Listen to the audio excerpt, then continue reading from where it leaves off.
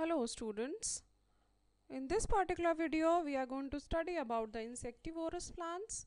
These plants are called as carnivorous plants or the plants that eat animals. You can visit my channel Biology by Arshi for more such information. Now let's see what are carnivorous plants.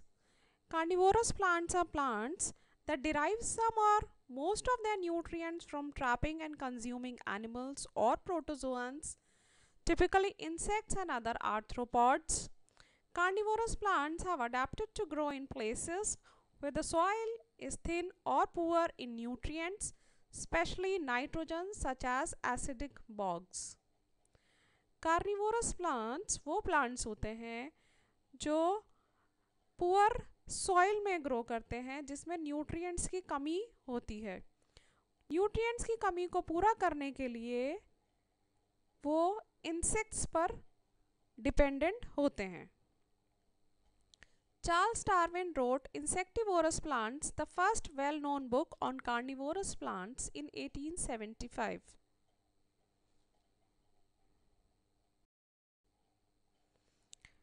It is Nepenthes. It is also called as the pitcher plant or monkey cup. Utricularia are the bladderwort. Drosera sundews. Venus flytrap, Dionaea muscipula Sarracenia or the trumpet pitcher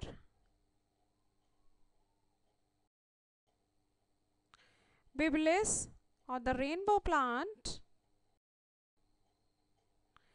Genlesia coxsackie plant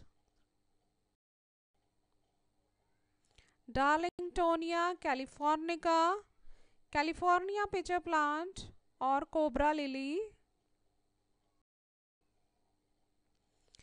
Pinguicula or the butterworts,